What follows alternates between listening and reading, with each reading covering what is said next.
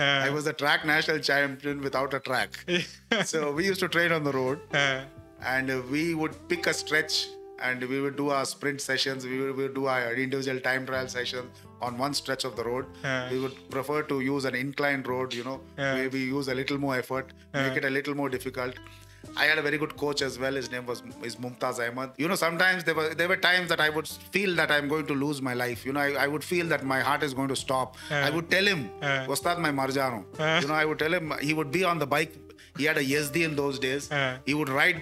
My competitor was his bike. So, so he would he would expect me to to keep up with his bike and to beat his bike. And every time I increased the speed, he would increase it by raising the throttle. and I would come to a stage where I would tell him, "Ustad, I'm dying. My marjaro." he would tell me, "Cross the line and die."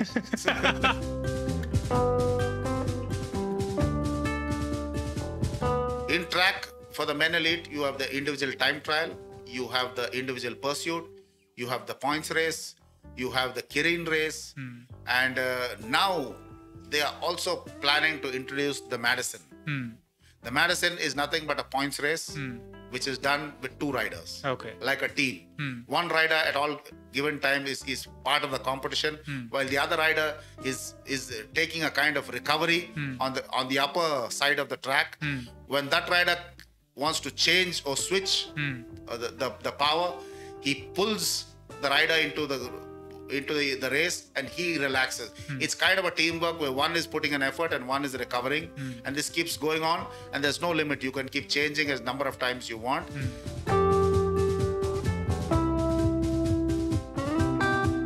In this academy of ours, we don't only focus on physical development, or we don't only focus on the game. We focus on overall development of a child. Yeah. Now we want the child not only to be physically fit, hmm. we want him to be mentally strong. Hmm. We also want him to have a good attitude hmm. because I always say, if you have a good attitude, you will reach a good altitude in life. Your altitude that you reach in life depends on the attitude you have. And the very basics to get a good attitude is a good gratitude. This is this is uh, this is the way I put it. So we teach the children the basics of gratitude. You know, just being thankful for small small things.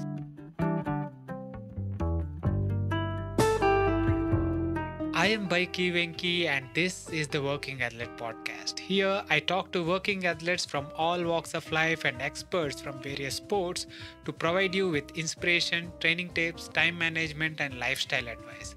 If this is something that interests you, please make sure you subscribe to the channel.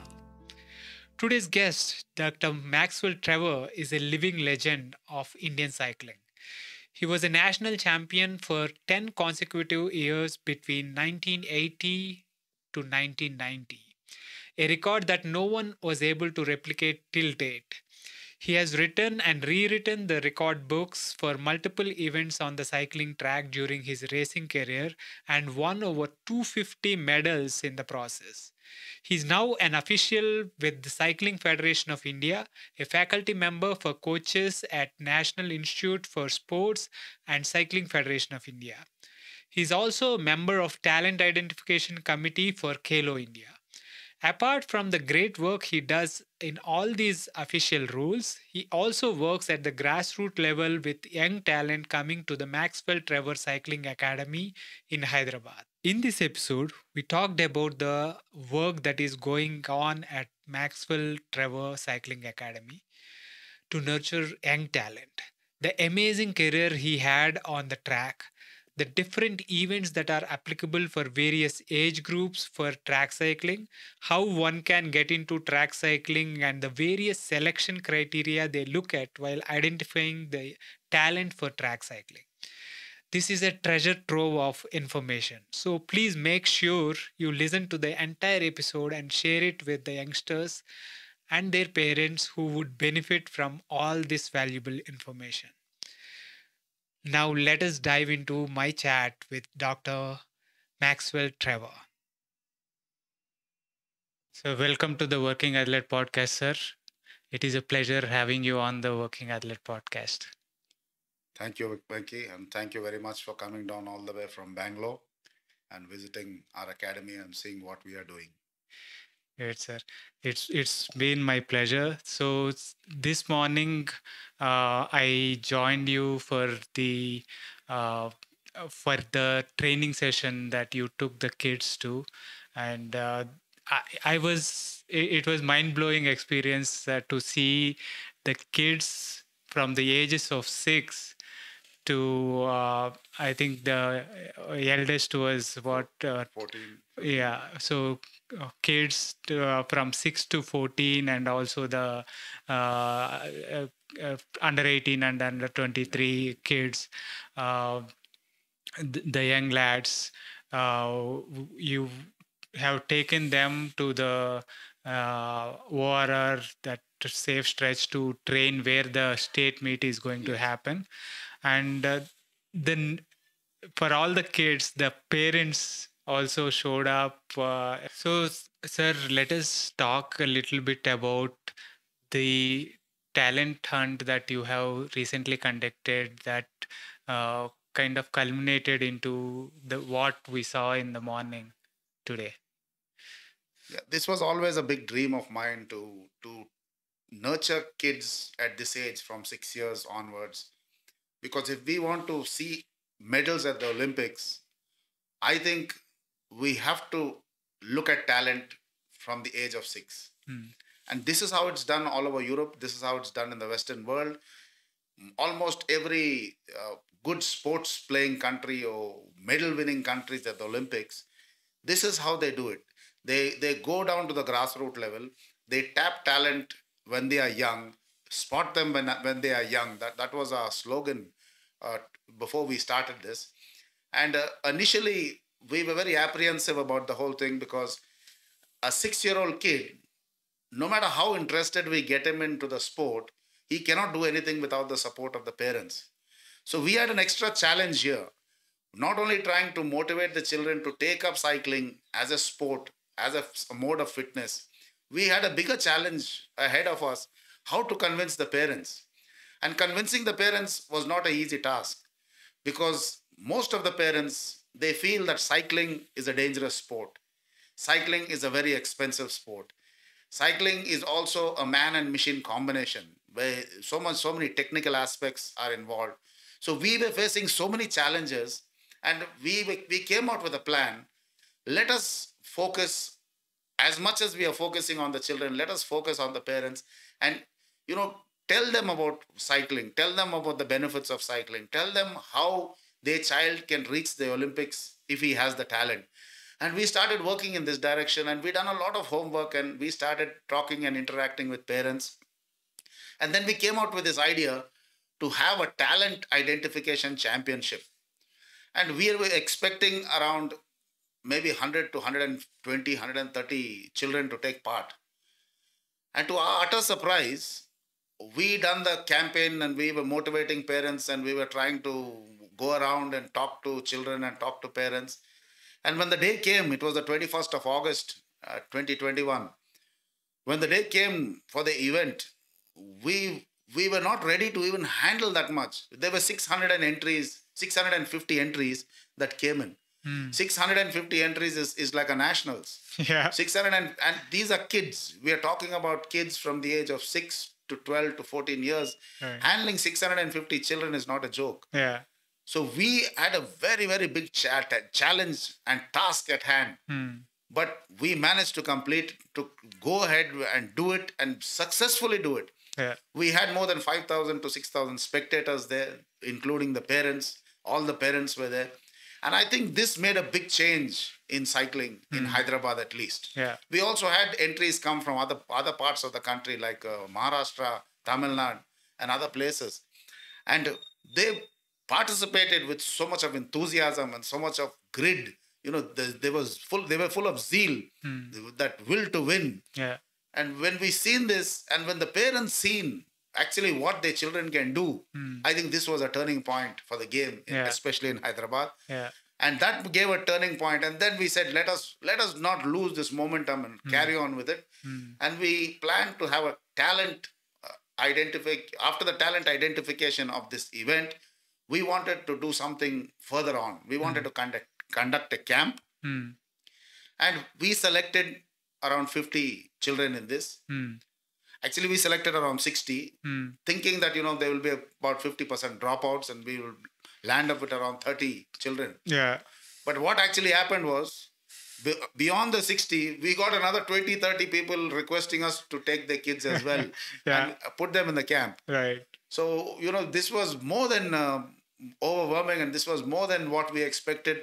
So, I think uh, we are heading in the right direction. And I think that this is a great start for us. Yeah. And uh, as I always say, hats off to the parents.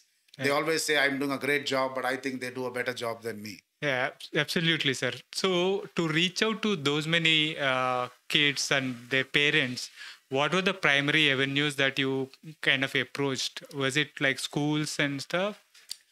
First of all, I, I uh, shot a, a small little video Hmm. explaining what the game is all about, Hmm. uh, telling them what I achieved myself Hmm. And from where to where I came Hmm. in the sport, Hmm. and uh, like a brief introduction of the game Hmm. in general to, Oh. to the public and the benefits of the game and how the how the the game actually helped me and brought me from where to where and what I have today is because of the game and things like that.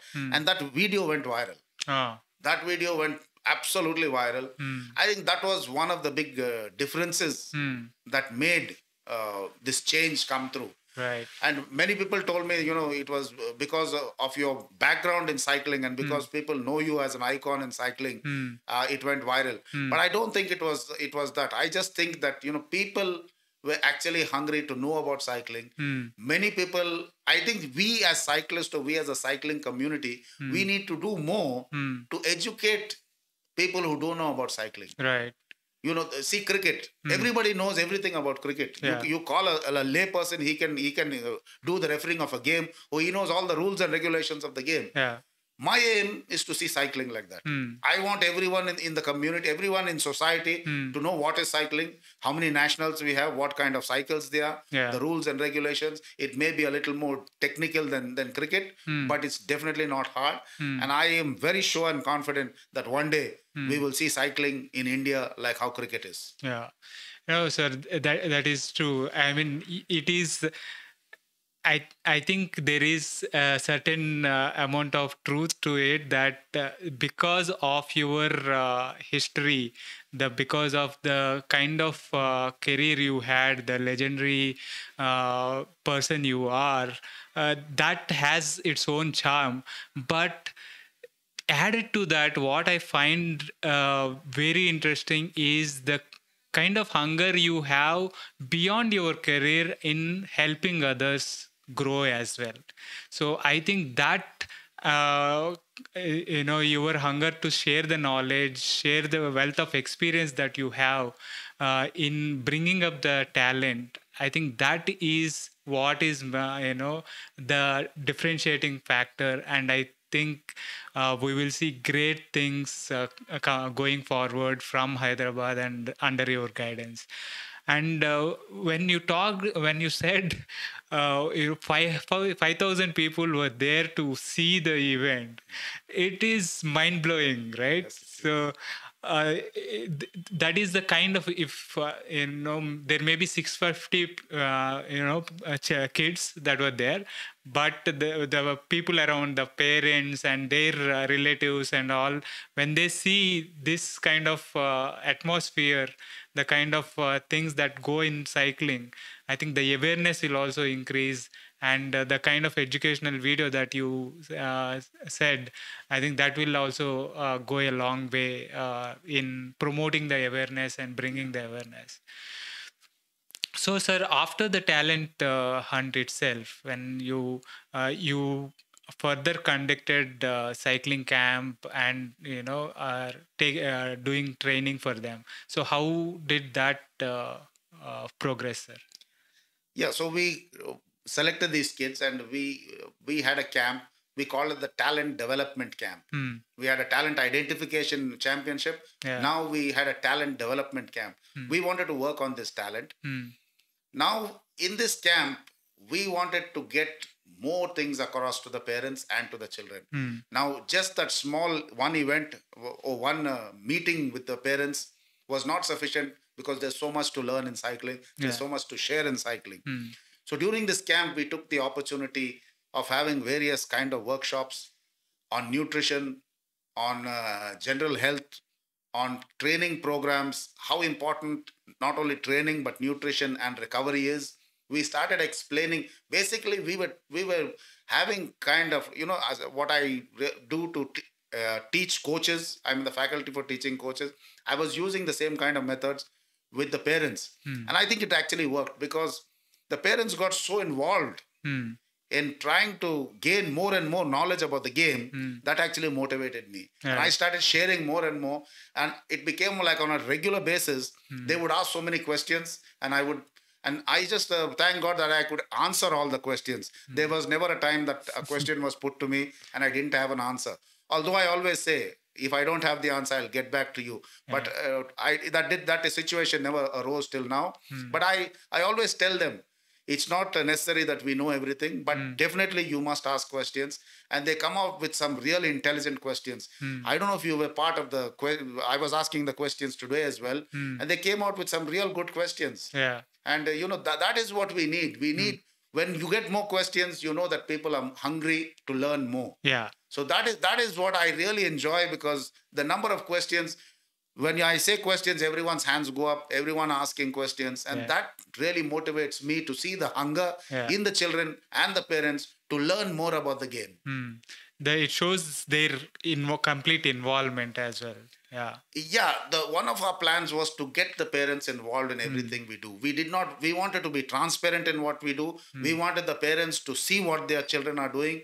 There were a few occasions when we had a few crashes with the kids, Hmm. and uh, we told the ch- the parents, you know, just leave it to us. We will handle it. Don't get uh, bothered. Hmm. Yeah. This is a game, and we would just get the kid to stand up on his own, get back on the bike, and, and take part, ride again. Hmm. Yeah. Sometimes there were there were a little blood here and there, and as a parent, you get a little worked up. Yeah. But it it was just a matter of few days that hmm. they got the message. This is sport. Yeah. You know, this is how sportsmen behave, Right. and we kept telling them, this Yeah. is what a sportsman is. yeah. You know, we fall, but we don't stay down. We we- stand up again. Yeah, yeah. No matter how many falls we have, we never stay on the floor. We hmm. stand up again.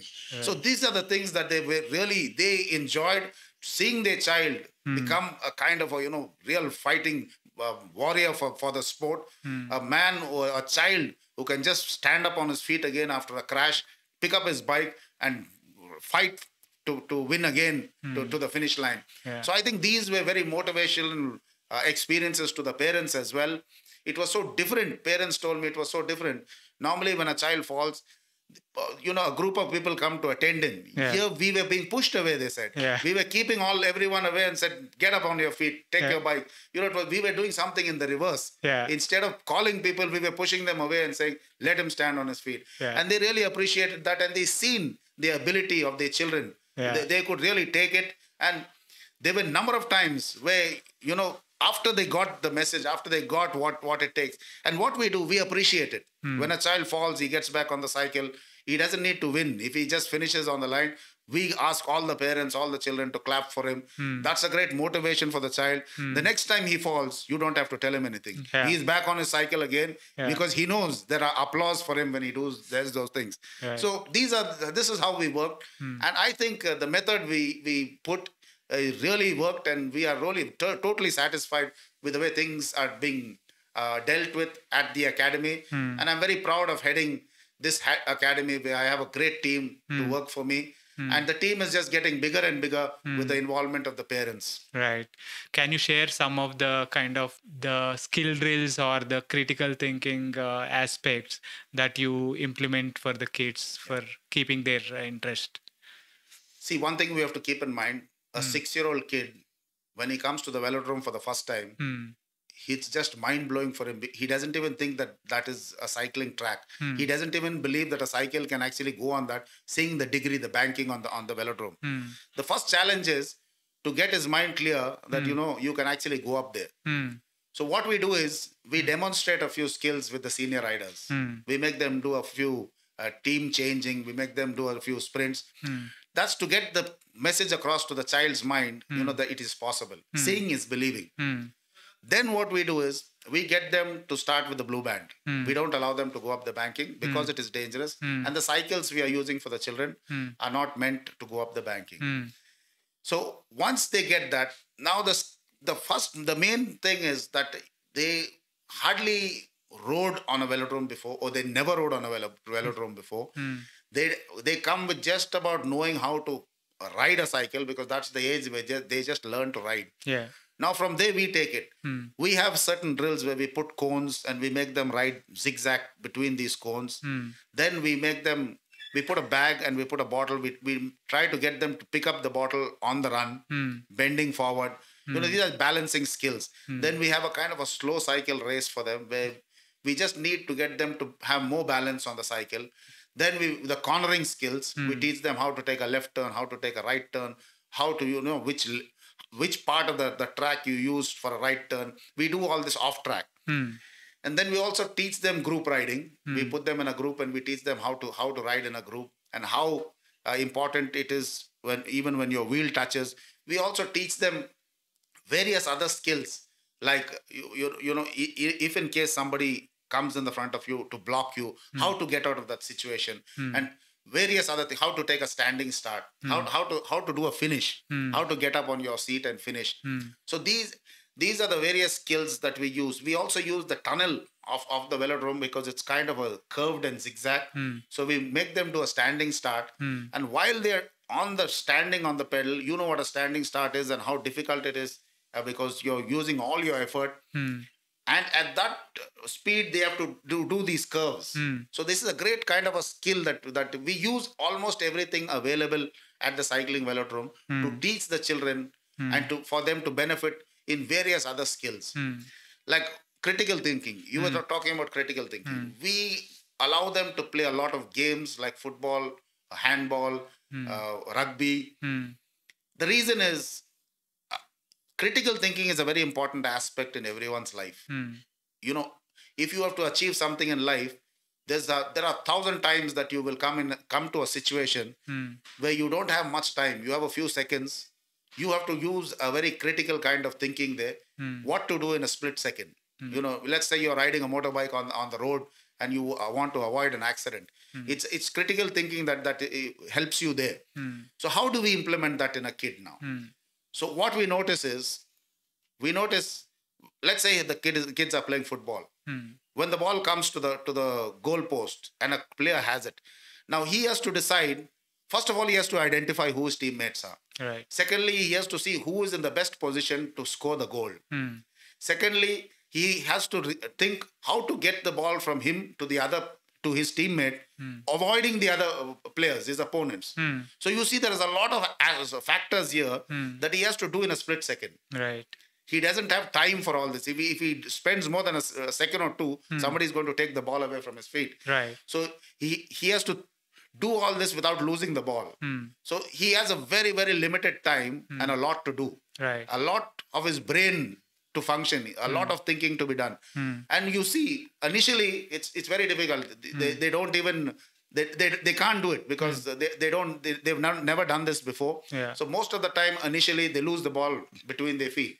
But if you notice in a in a few weeks they've got they they they are putting their critical thinking to use and you see how well they pass. They pass it to the right uh, teammate. They pass it through the right opponents sometimes they pass it through through his legs through the legs. Sometimes they u- they use various other skills that only proves that their critical thinking is at work. So, sir, uh, you kind of make them do all these skill based drills and also things that hand eye coordination and, uh, you know, also the drills that sharpen their mind. So, and uh, once they kind of spend their time in the camp and uh, eh, you know over the period of time the parents also see the difference and uh, share. I was talking to when in this morning i was talking to a few parents and they were uh, you know quite delighted with the kind of uh, changes that they see in the kids.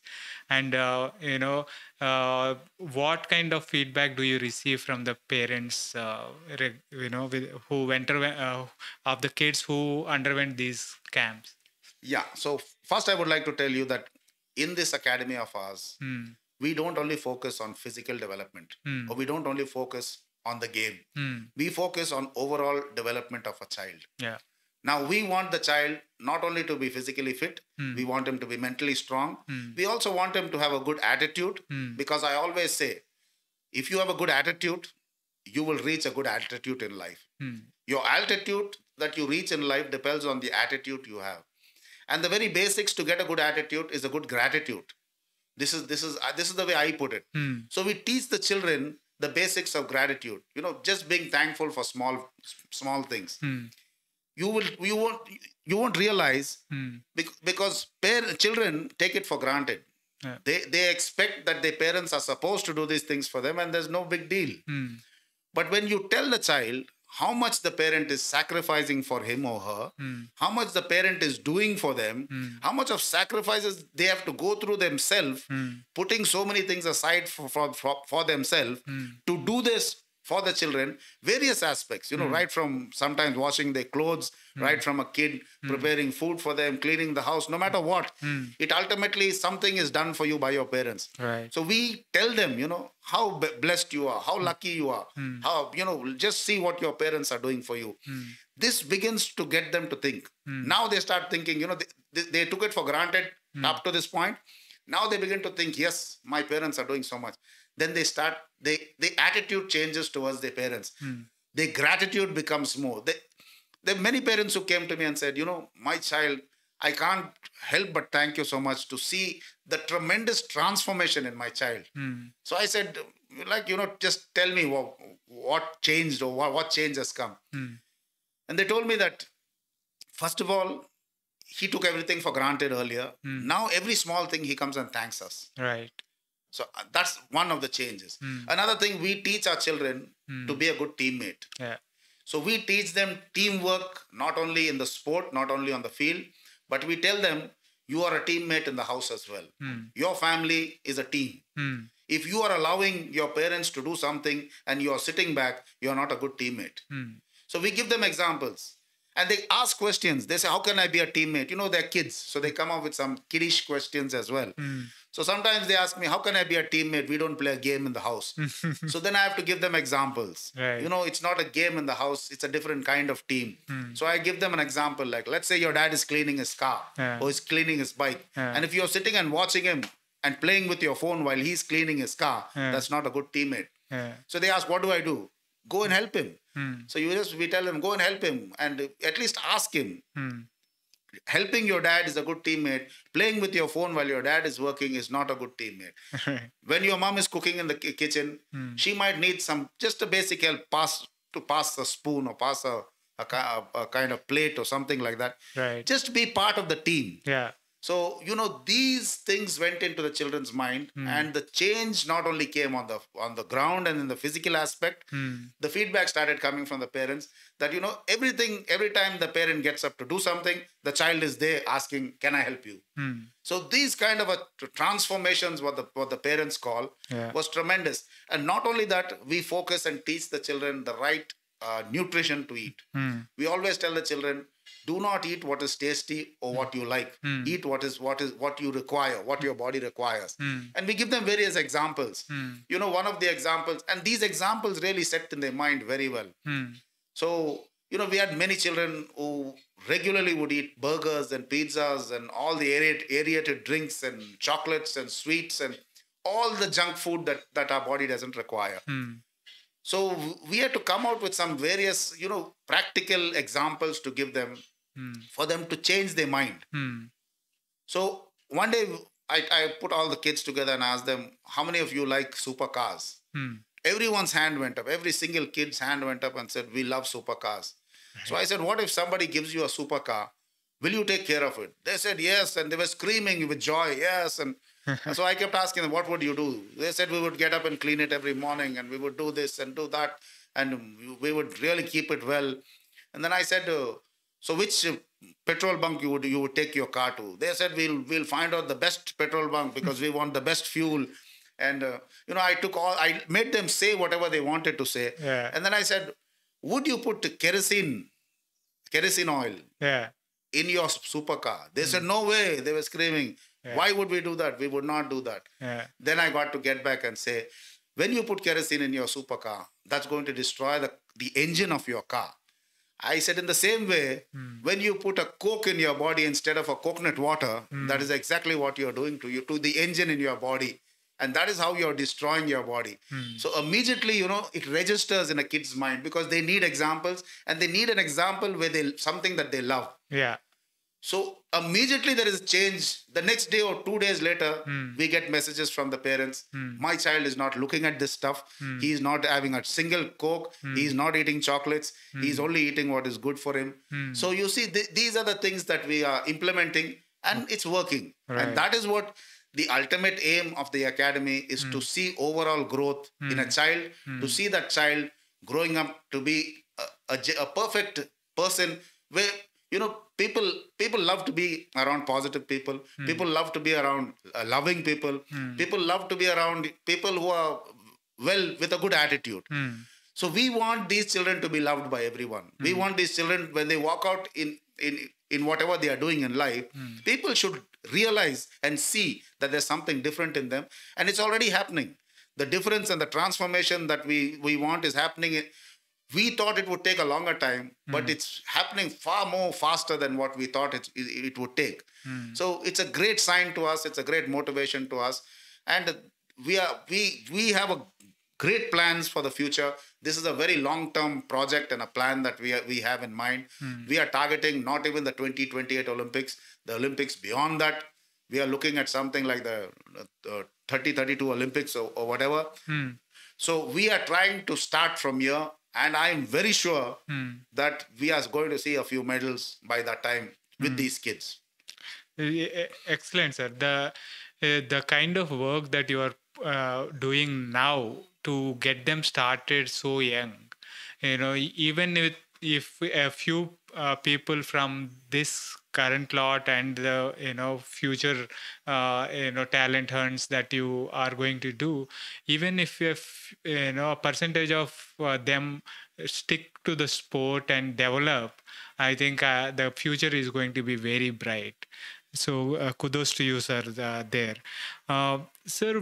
What is uh, what are the kind of uh, I I heard from uh, a few parents also that you did a few sessions, educational sessions with you know teaching the parents as well, not just the kids. So what kind of uh, sessions did you kind of take for parents and stuff? Yeah, we did various sessions with the kids. Uh, Some of the sessions were on nutrition with the parents. Hmm. We always done a session with the parents and the kids hmm. because the parents are the ones to prepare the food for the children. So even if the child changes his eating habits and the parents are preparing something that he's not supposed to eat, it's not a teamwork there again. That's why I say a family is a team. Yeah, So we asked the team, the family team, to come and listen. yeah, And the parents were so amazed and amused to see the nutritional value of uh, the local food that is available to us in India and how beneficial it is to the body.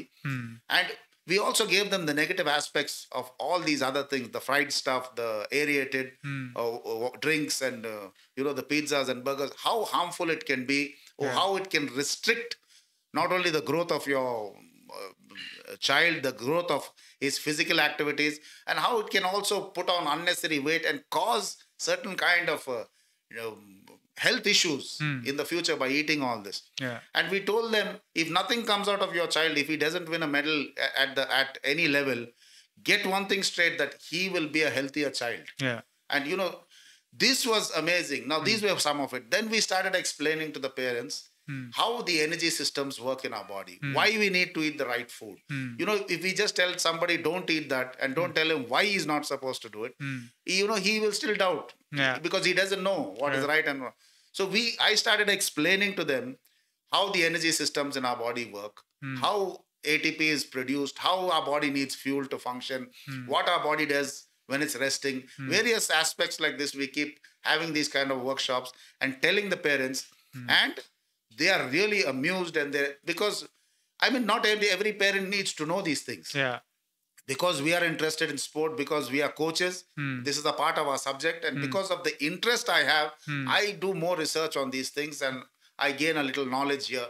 So it's not necessary for everyone to know but when they actually know when their child is becoming a sportsman and these things are so important the combination of bringing making a sportsman out of your child and you knowing the benefits of the sport and what to eat and what not to eat and how your body functions makes a big difference. Yeah, definitely, sir. And uh, you know, all I think uh, all of us are incredibly lucky. You know, the parents and the kids are incredibly lucky f- to have this kind of knowledge being shared by you who is actually a faculty uh, uh, who teaches the national at national institute of uh, sports and the all uh, you know help the, the all the cfi coaches teach all the cfi coaches. So you know the kind of uh, knowledge the wealth of knowledge you have you know they're ge- directly getting from you that they're i think uh, incredibly lucky there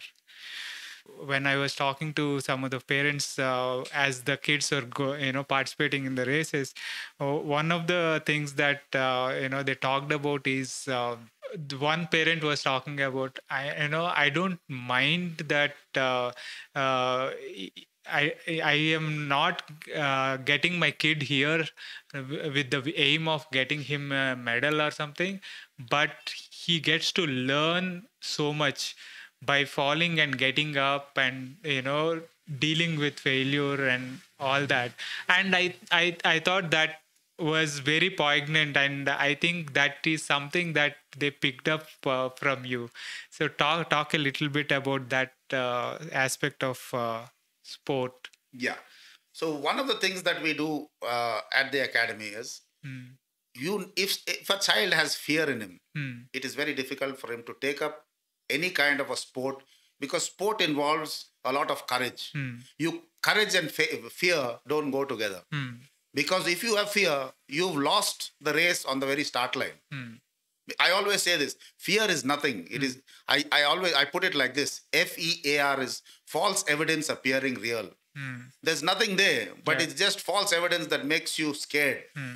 So one of the things we do to get the fear out is, I as I said, we put them in group riding. We make them walk up the 48, uh, the 38 degree uh, track wh- when the velodrome is not being used for cycling. Hmm. We actually make them walk up at the steepest bank Hmm. and we make them walk holding the railing and come down again at, a, at a much uh, lower degree. Hmm. Initially, nobody does it. They are too scared. Hmm. The parents are too scared to allow their child to do it also Hmm. because it's a seven meter track. Hmm. Seven meters is almost 21 feet. Hmm. If they fall from 21 feet, Hmm. it, it can be dangerous. Yeah. But we take safety as a very prime aspect to us. Hmm. So, two or three of us actually stand uh, at the low of, of the track. So even if he comes rolling down, we are ready to catch him and see that he doesn't come down to the concrete. We take all these precautions, but at, till now we never had to really use it, Hmm.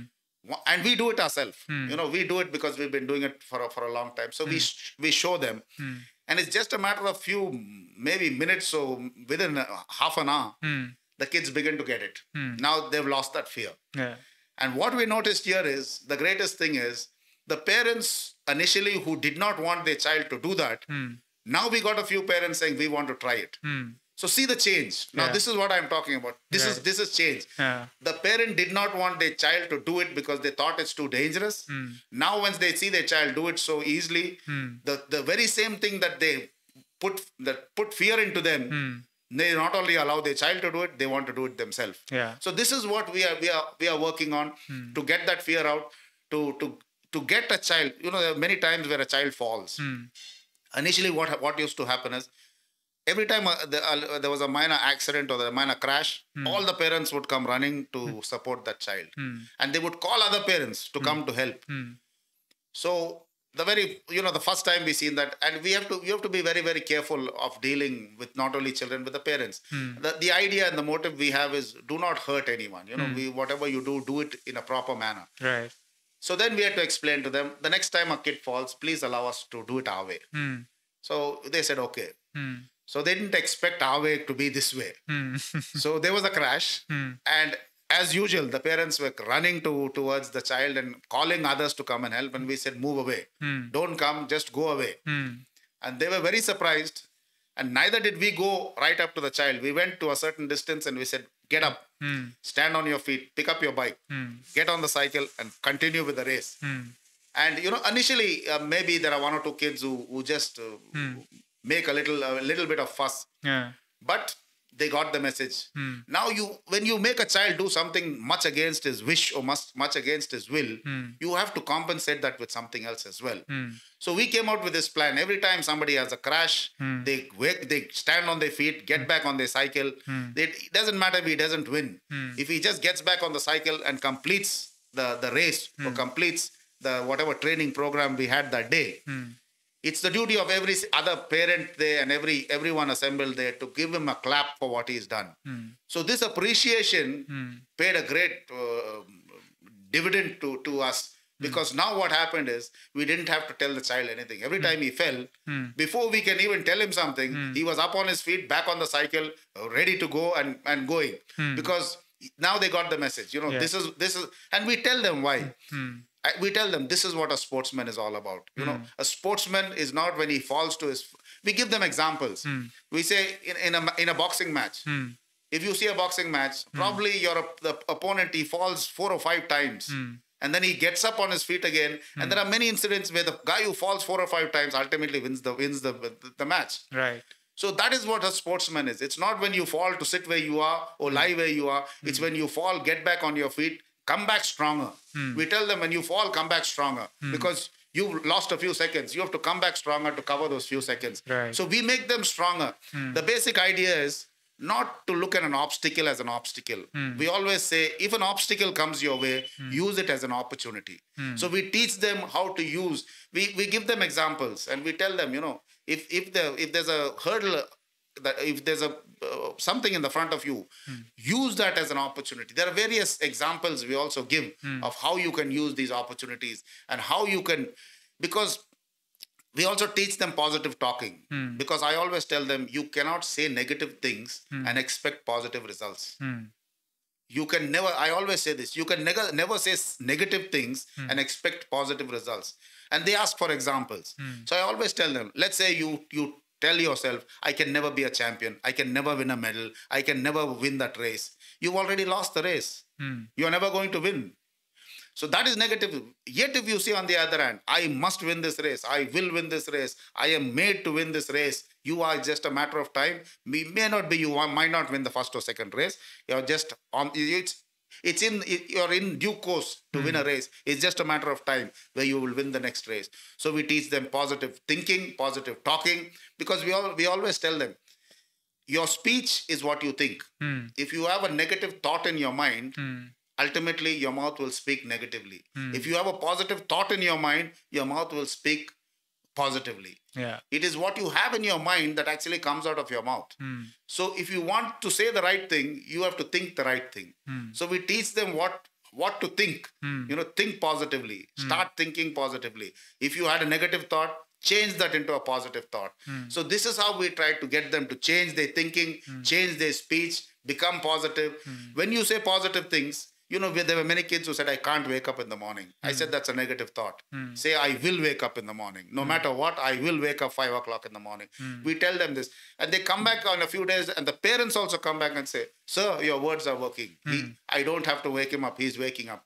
So, you know, the great thrill and the joy for us to see that when we are implementing these things, it's actually producing fruit and being fruitful. Right. Uh, this is uh, you know really gold, sir, uh, for all the kids and everyone, the future champions. The that sort of attitude that you nurture from uh, an early age is really uh, critical.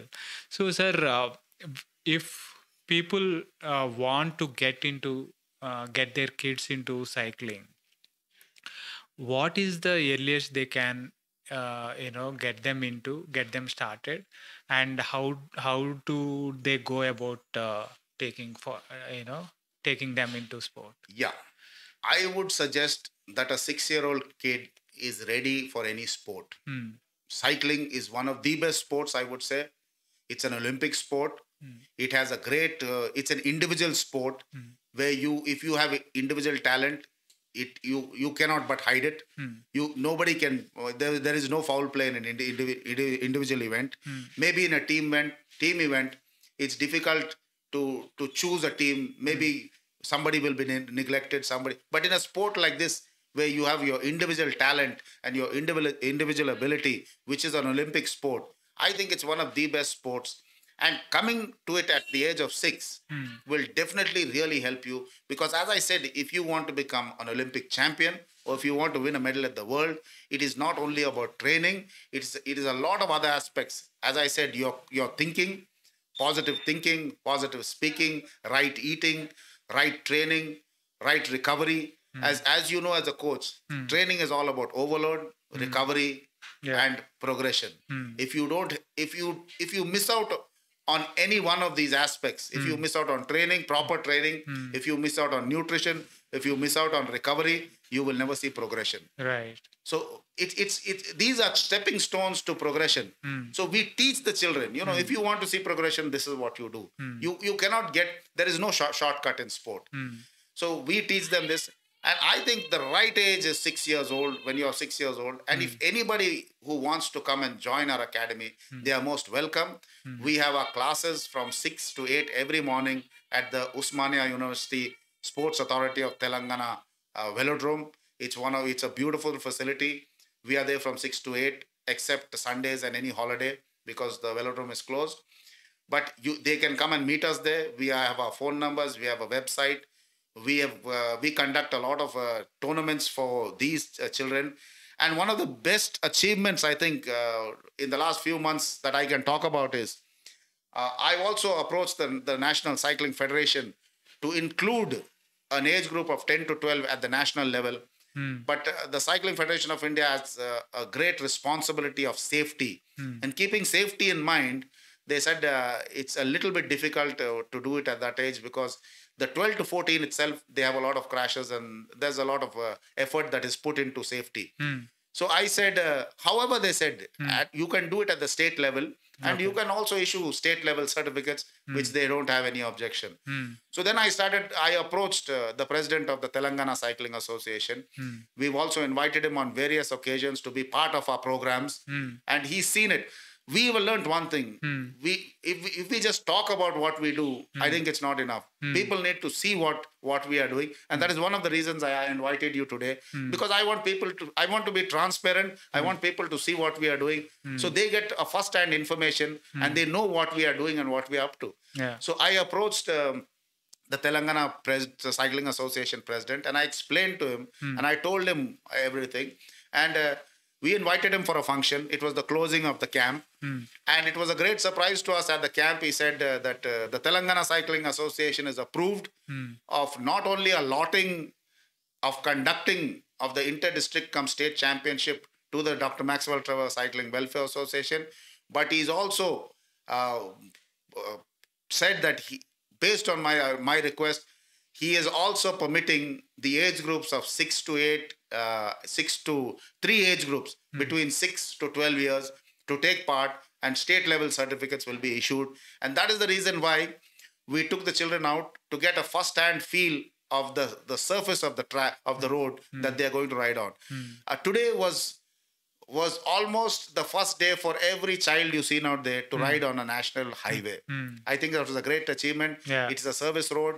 It's a, it's a kind of a dead end. So we had to do a lot of survey as well to, hmm. to find a safe road. Hmm.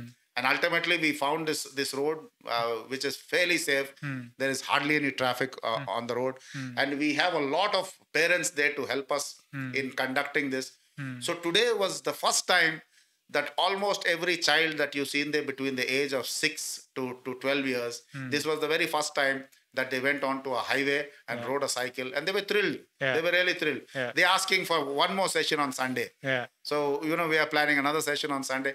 Now, this is what, uh, you know, when the children and parents ask for more, that's a great sign. Yeah. You know, that proves that something that you're doing is what they like. Yeah. And here at the academy, when I say we are training six year old kids, there's a lot of uh, um, thinking that you have to do. When you're training a six year old kid, you have to make him want to come back. You want hmm. to, you have to make him love what he's doing. Hmm. You have to make him want to come back for more and more of the, of the physical activity because physical activity is not easy hmm. because these some of them did not do any kind of physical activity before that. They are, it's a six year old kid. I mean Yeah. he's, he can hardly sit on a cycle. Yeah. and if you see the skills they have now it's amazing. Yeah. it's just amazing. It it really amazes me sometimes to see how fast a child can actually learn and put on so much of skill you, if you've seen them riding today Yeah. riding on the national highway they were riding at a speed of i think they uh, they they touched at a time they touched almost 20 kmph on these indian made bikes Yeah. of course there was a little uh, uh, decline there Yeah. but for a six year old kid to handle a bike at the speed of 20 is not easy Yeah, but they- they, they were doing it taking a u-turn Yeah. uh, you know it, it was great to see them Yeah. so that is that is what is so satisfying satisfying and motivating to us Yeah, some of them were quite fast, and you know, I, as you rightly said, they are they learn at a very tremendously fast pace, and uh, they are like sponges at this age, right, to observe everything. I, I don't know if you noticed there was a girl who was actually five years old Uh, she was so eager to take part with the bigger age group Yeah. she picked up a cycle uh, and came on the starting line Yeah. requesting me to allow her to start so i asked her do you know how to use the brakes she said no so I told her, Did you ever use the brake before? She said, No. I said, How are you going to ride? I will ride, she said. so, you know, you have to be very careful. Yeah. So I did not want to dis- disappoint her. Yeah. I said, Okay, I am going to race with you the next. Let me finish with this. Yeah. I'm going to give you a better cycle. Yeah. Actually, I was looking for a smaller cycle. Yeah. I'm going to give you a better cycle and I'm going to teach you how to brake. And I am going to come with you racing. So she said yes, she was waiting. So And I, I- had to ful- fulfill that, my promise as well. So immediately after the race. I went back to her and said, Come on, we are going to race. So I put on the cycle and I started running besides her, teaching her how to use the brake. And you won't believe, I think it took her three to four minutes and she got how to use the brake. Yeah. I was running besides her and telling her, use the brake. First time she was too harsh on it. Yeah. Then she was, it was just a few minutes, she Yeah. got how to use the brake. Yeah. So this is how we deal with children.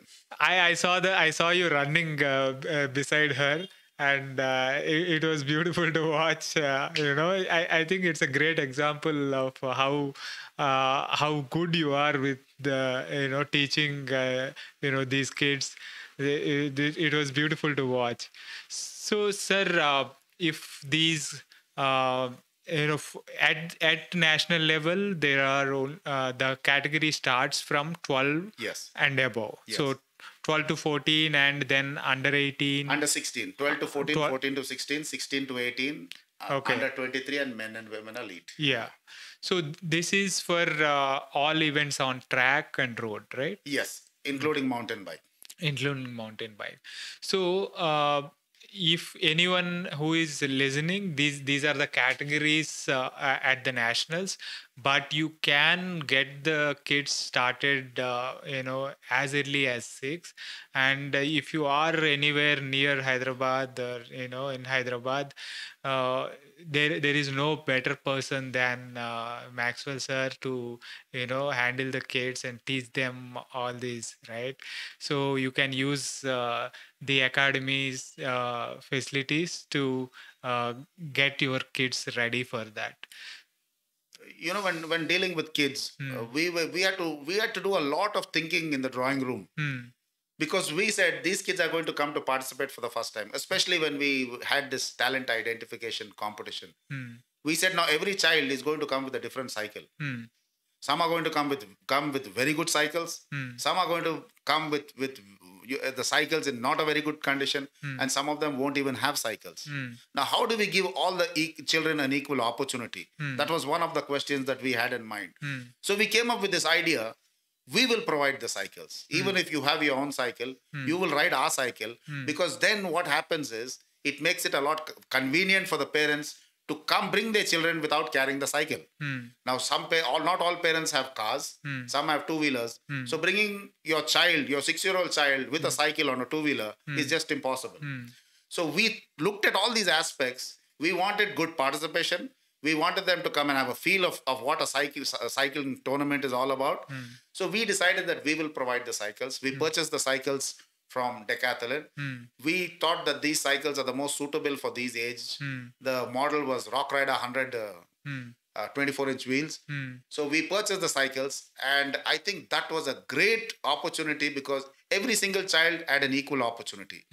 As you know, as a coach, using a big gear for these yes, such young children Yeah. actually damages their muscles Hmm. and it's not good it's not even allowed at the at the international level uci has a gear restriction so we wanted to make the children benefit the maximum out of the cycle of cycling not to damage them. Hmm. So we picked this cycle because it has a very low gear ratio. The cadence would be more and the the power that they execute on the pedal will be much lower and much less which is actually needed for a child. Hmm. So we picked these cycles.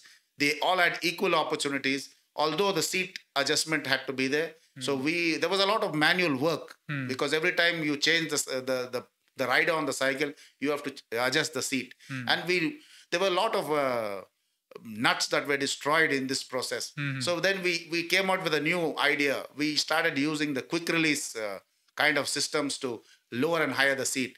So we have to go with um, the you know we have to uh, use our own discretion sometimes to make it easier and make it more beneficial for the for the rider. And i think these things by doing these things really helped and uh, it really motivated uh, pe- people and that's the, that is the reason why we actually could make an im- impact in the in the in the uh, cycling Yeah. community or in the cycling uh, sport. D- it is it is incredibly hard to uh, i mean the it is not very easy to deal with kids uh, at, you know much at much younger age like uh, you know less than 10 from 6 6 and onwards.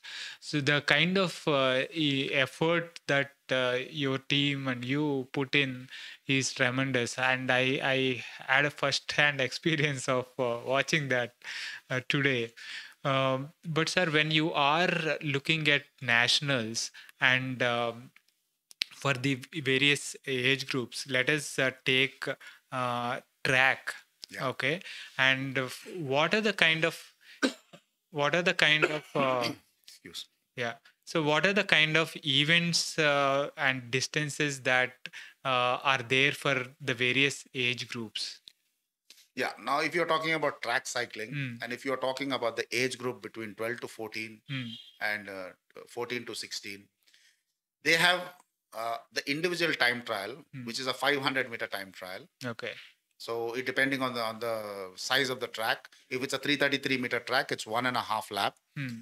so it's a standing start and it's a it's an individual time trial which means it's riding against the clock Hmm. each rider rides individually and they are clocked and the best timing the person who clocks the best timing will be the winner and subsequently the next best timing would be second third and so on the next event for this age group 12 to 14 is the 2 kilometer individual pursuit now the 2 kilometer individual pursuit is an individual event again but two riders take part at the same time at either ends of the track it is called the pursuit line if you notice in the middle of both the straights Hmm. the the the lowest degree of the track which is which is around 12 degrees Hmm. do in the middle of of that entire straight you have a red line on either on both sides. Hmm. that is called the pursuit line. And you have one rider from which we call the the home uh, stretch Hmm. and the other or the opposite stretch. So they both of them take a start at the same time based on the whistle or a gun. Hmm. the starter stands in the middle of the track. The reason for the starter to stand in the middle of the track is sound takes time to travel.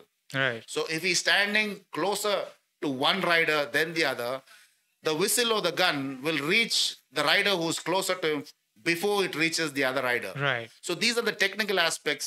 Hmm. Many people ask these questions. Hmm. Why does he stand in the center? Yeah. So this is the reason. Yeah. To see that sound travels equally to both the riders and they reach it reaches. Of course, we are talking about a very, very micro fraction of a second. Yeah. But then why do why do you give why do we want to give even that micro fraction of a second to a rider? Let us be fair and equal. Yeah. So that is why the, the uh, uh, starter starts from the middle of the track Hmm. to give both the riders equal opportunity and fair fair play game. Hmm. So that is uh, in in the uh, 14 to 16 age groups you have the same events Hmm. and uh, 500 meters and 2 2 Two kilometer kilometer pursuit individual Okay. pursuit, yeah. And uh, the 18 the, the 18 years Hmm. like 16 to 18 year group Hmm. in that you have a 1 kilometer time trial Hmm. you have a three kilometer individual pursuit. Okay. It's the, the individual time trial is the same. The distance is just doubled. The individual pursuit is the same, where two riders take a start. The Yeah. distance is, is one kilometer more. Yeah. They also have a kind of a um, group race, hmm. which which is called a scratch race or, or a mass start. Hmm. It's a, a- a scratch race. They also have a Keirin race, which is very interesting. The motorbike sets the pace. It starts giving you a kind of drafting advantage or a, sets the pace at 30 kilometers an hour, and it moves out after three and a half laps on the on the velodrome. And it from 30 it brings the speed up to 50 and moves out, hmm. and the riders are left to to race hmm. after that. It's a very interesting race, and the good thing about this race is India is got a world championship medal. Hmm. And if you've seen that world championship, Esau was the one who won, won the silver. It was excellent to watch him. Yeah. He won it. He lost the gold, in fact, hmm. by a fraction of a second. Hmm. Uh, In fact, if you ask me, there was very, very little difference, hmm. not less than a half wheel. Yeah. So this is one of the events, and India has always been doing well in the track events in the recent past, uh, much better than the road events. Yeah. So these are the events, and of course, for the men elite, you have the points race, you have the indi- 4,000 meters individual pursuit. So after 18, it is men elite. yes, after 18, once you you cross 18, you come in the men elite or the women elite category Okay. in the track. So uh, on road there is under 23, but it is not there uh, In track. In track. Yes. Okay. Yes. Yeah. You have the under 23 category Hmm. in in road. You also have the under 23 category in mount in MTB Okay. Oh. So sir, uh, yeah, please go ahead with the events uh, for elite. In track, Hmm. yeah. In track for the men elite, you have the individual time trial, you have the individual pursuit, you have the points race, you have the Keirin race, Hmm. and uh, now they are also planning to introduce the Madison. Hmm. The Madison is nothing but a points race, which is done with two riders, Okay. like a team. Hmm. One rider at all given time is, is part of the competition, Hmm. while the other rider is is taking a kind of recovery Hmm. on the on the upper side of the track. When that rider wants to change or switch Hmm. uh, the, the the power, he pulls the rider into the into the, the race and he relaxes. Hmm. It's kind of a teamwork where one is putting an effort and one is recovering, Hmm. and this keeps going on. And there's no limit. You can keep changing as number of times you want. Hmm. So that is the Madison that would be introduced into the track events from the coming nationals. There are also team events. Now there is a team sprint, which three riders take part. This is another very interesting event, which we also have a medal at the World World Championship. Now these three riders take a start. Hmm. Each rider takes a start with a 1.5 meter gap from from one rider to the other rider. Hmm. Three riders are parallel besides one another. Hmm. The front l- w- li- wheel should not go beyond the uh, the red line. They take a start. Each rider takes one lap and moves out from the track to the upper side of the track. The second rider does his lap, and the third rider, the second rider moves out, and then the third rider takes takes his lap, hmm. and the last rider hmm. timing the timing is clocked on the after when the last rider reaches the the, the starting point of his uh, event. Hmm. They also have two teams take part at a time, like the individual pursuit from opposite ends of the track. Now, here the technical aspects of this is that the, even the the idea of having this team event is to take your team along with you. Right. Let's say the first rider takes a very fast start hmm. and the second rider cannot keep up with the first rider. Hmm. So actually if you see the second rider will be riding two laps hmm. because the person in the front always has to use an additional effort because he's facing the wind resistance Right. the rider behind him gets a, s- a- a kind of advantage because the first rider is cutting the wind and creating a kind of draft. Now, there's a lot of technical aspects even while drafting, hmm. how it happens, and it's very interesting. Hmm. You know, the second rider gets the advantage. So, the idea in this team event is hmm. while the first rider is putting all his effort, exerting, the next two riders have to actually have to take advantage of the benefit of drafting, stay as close to his back wheel as possible, take the maximum advantage, and then you do the same thing when his turn comes. This goes on till the last rider. Hmm. And in that case you get the maximum benefit out of your team hmm. and you will definitely be able to do a better timing. Hmm. So that is the the team sprint. You also have a very specified 15 meter area in which you have to move out from the track. If you move out before that or you move out after that your team will be disqualified. So these are the technical aspects of this event. Okay. you also have the team pursuit. Hmm. the team pursuit is of four kilometers. Hmm. It's it's uh, four riders to start three three riders are allowed to finish Hmm. in this all the three riders have to finish together Hmm. because the third man's timing will be clocked Hmm. so if two two riders finish and the third rider finishes after 20 seconds, Hmm. your ti- time will lose. Your team will lose 20 seconds because the time is stopped Hmm. on the third rider. Now this is not. This is a little bit different from an um, team sprint Hmm. because in a team sprint the rider moves out and does not join the team again. Hmm. In a team pursuit, the rider from the first position that was taking all the all the load by taking the wind upon himself Hmm. moves from that position and comes to the last position and that's how he gets a little bit of recovery Hmm. and by the time he gets a chance again he has three riders in the front of him so he has enough three laps or if they are taking half lap Hmm. he has that much of time to recover and come back with a with a with a re- uh, kind of uh, recovered energy to take another lead Hmm. and this is how you you form a good team and this is how you get the best out of your team Hmm. Very interesting. Uh, the team sprint and the team pursuit and uh, individual pursuit, uh, four kilometer individual pursuit and uh, uh, individual time trial. Yes. Uh, what is the distance of individual time trial for uh, elite men? it is one kilometer One kilometer. there is one more event Hmm. i- for for the men the under 18 Hmm. as well as the men elite Hmm. which is called the the sprint it is the 200 meter sprint Okay. it's another very interesting event Hmm. it is always the fastest event because it's a short distance it's just 200 meters Hmm. Now in the qualifying rounds each rider rides individually Hmm. and the 200 meter timing is clocked Hmm. we have a marking on the track Hmm. we have a start line and a finish line for the purpose of the 200 meters Hmm. so they they get three laps to so they build their speed Hmm. using the advantage of the banking going to the right to the upper side of the of the banking taking the advantage of that banking ki- making a kind of dive Hmm. taking the advantage of all that they can get Hmm. to generate the maximum speed the idea here is to reach because it's a short distance of 200 meters Hmm. the idea here is to touch the start line with maximum speed Hmm. it is not to come into the line and then uh, generate speed. You're going to lose timing there. The idea is to start way before the start of the 200 meters. Hmm. By the time you reach that line, you should be at max power, hmm. max speed, hmm. and that is when you get the best timing. Then, you, depending on the number of riders, they you qualify either they take the first 16 to qualify or the first 28 to qualify, and then you are put in in pairs. And then after that the pairing and as you come to the semi-finals the quarterfinals semi-finals and finals it becomes pairing and hmm. that is the best of threes. Hmm. You always have a best of three match when you're in a pair. Hmm. It's a very interesting event and it's a very fast event. And there's a lot of tactics in that as well because sometimes for those who have seen a sprint event some many people ask me this question why do they do a standstill? Yeah. a standstill is Track something stand. where, where a rider goes and tries to. Now, here it's supposed to be a race that goes fast. But at sometimes you see a rider trying to slow your opponent down, trying to get his uh, cycle to a stationary position, which is called a standstill.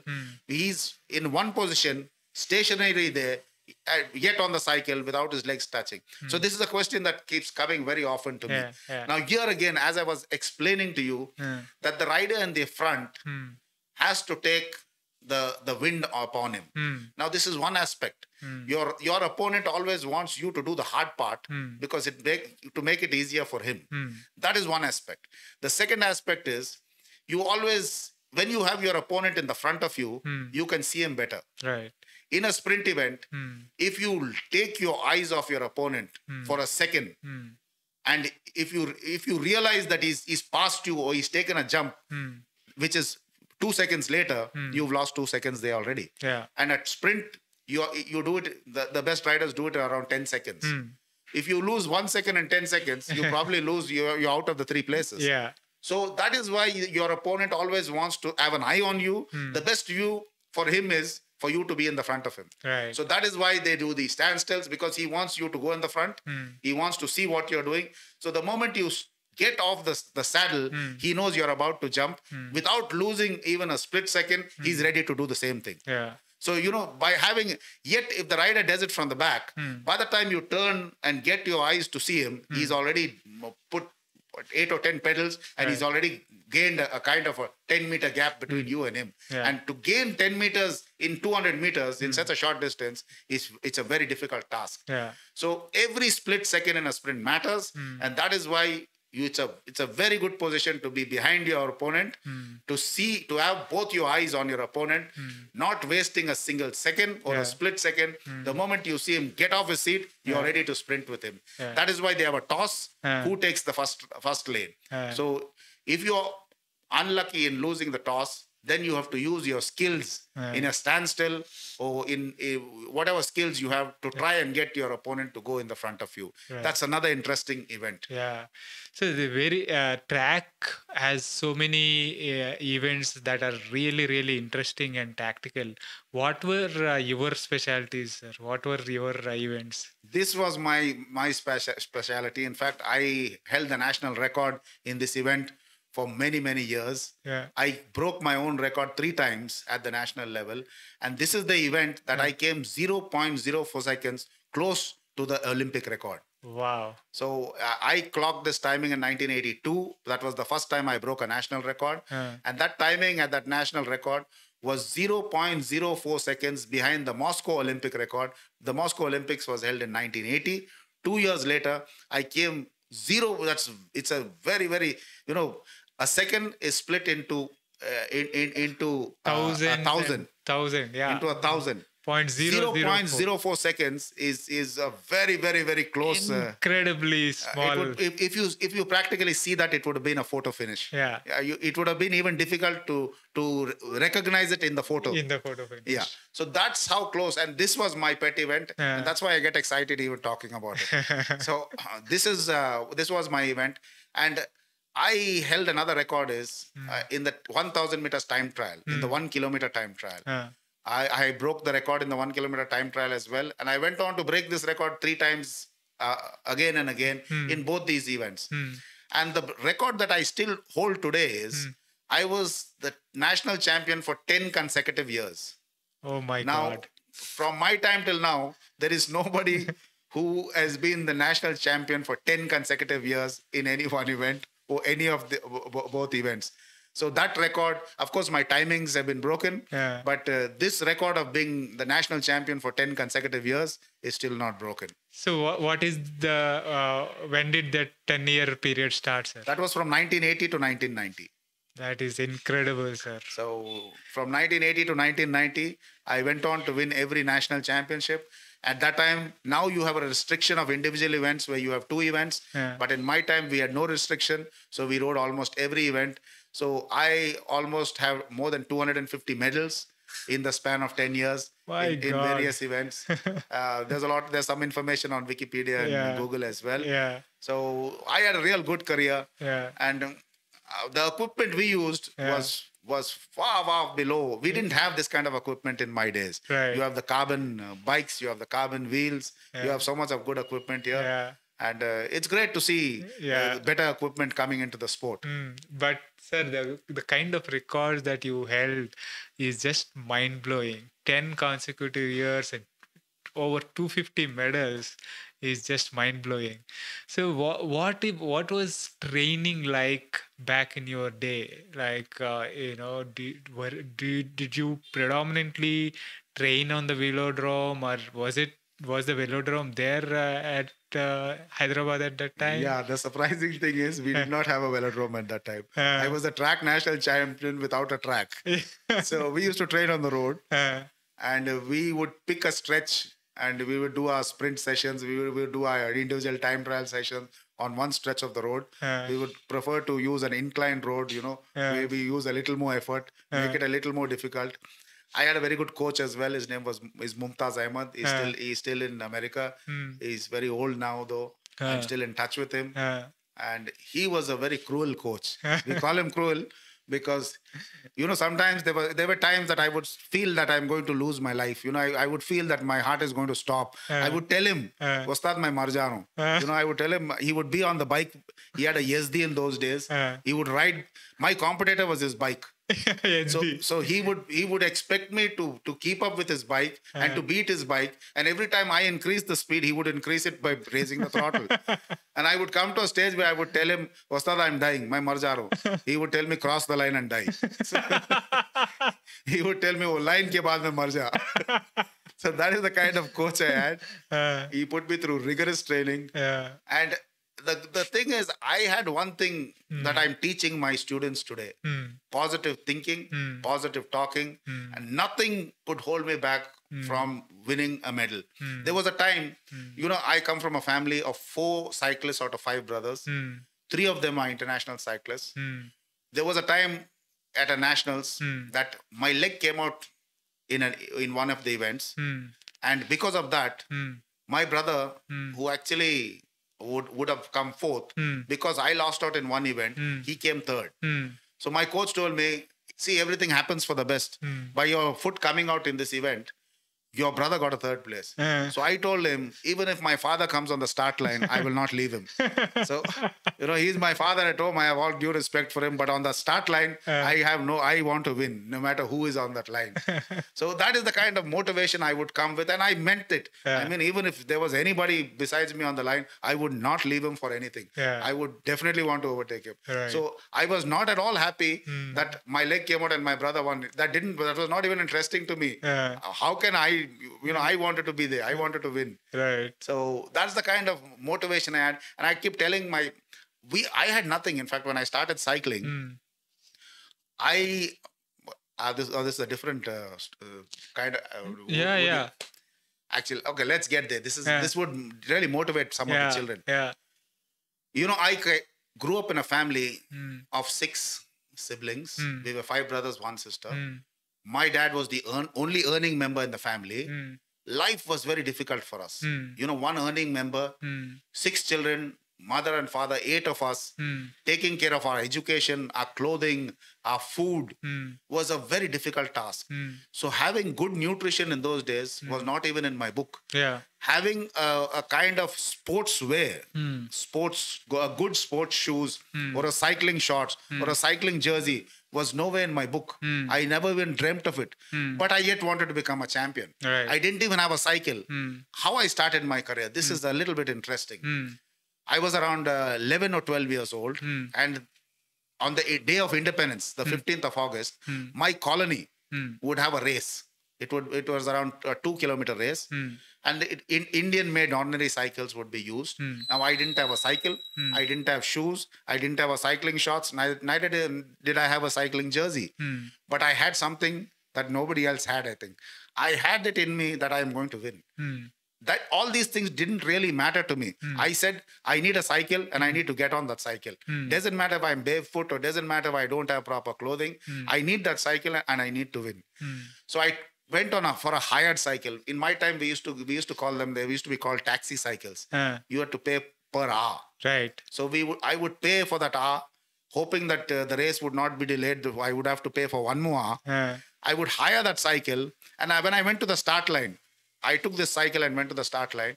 The organizers came and said, You can't take part in this event because you're too small, you're too young. uh, This is for 18 and above. uh-huh. So I literally played it with them, you know, please allow me. Uh. So the organizers told me, you know, you will disturb these other riders and you will you might have an accident. Hmm. So seeing my enthusiasm and seeing my zeal Hmm. and seeing uh, literally I was literally uh, begging of him to allow me to participate. Uh, So they ultimately had a discussion and they came back to me and they said, We will allow you on one condition. uh, You do not go in the front of the bunch Uh. because you will cause a problem and you might cause an accident. So right from the start, they put me right behind the bunch and they were thinking that I'm going to end in that in the same manner. Ah. And they also told me, don't try to go in the front Ah. because you're never going to make it and you would be a disturbance to the others. Hmm. So I was put right behind the bunch. Ah. There were they were around I think 25, 28 riders in that bunch. The moment the whistle went, hmm. it took me I think 25 to 30 seconds to come from the back of the bunch right in the front of the bunch. I was I didn't look back. That the next time I looked back was about halfway through the race, which was about one and a half, one one and a half kilometer through. Uh. I seen the riders around 50 meters behind me. Uh. The next time I turned back to look was around 500 meters before the finish line. They were more than 100 meters behind me. By the time I touched the finish line, they were more than 150 meters. The second rider was more than 150 meters behind me.